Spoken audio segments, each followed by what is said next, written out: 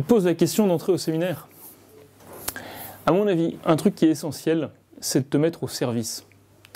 Parce que être prêtre, c'est être configuré au Christ bon pasteur.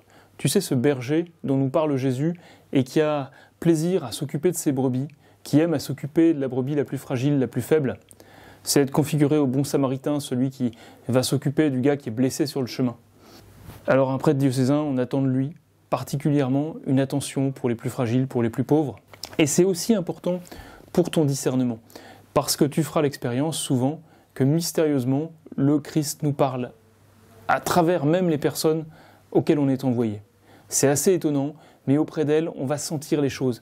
On va avoir une joie particulière qui va nous indiquer le chemin qu'on doit prendre. Alors, à la Maison Saint-André, à Lille, pendant ton année de préparation au séminaire, on va te proposer différents expériments qui vont te permettre de sortir de ta zone de confort. Et à travers eux, je crois que tu vas pouvoir faire un bon bout de chemin et ça va t'aider à trouver ton chemin.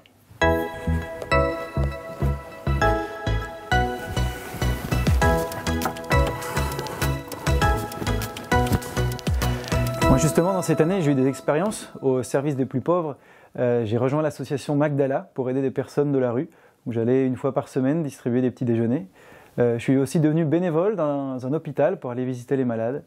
Je suis aussi devenu catéchiste, euh, apprendre à, enseigner, à partager sa foi avec euh, des plus jeunes. Pas toujours évident.